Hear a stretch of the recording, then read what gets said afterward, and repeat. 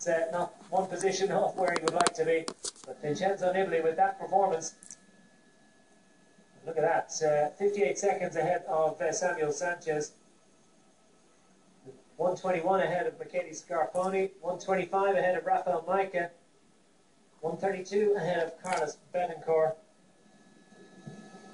Absolutely annihilating them all.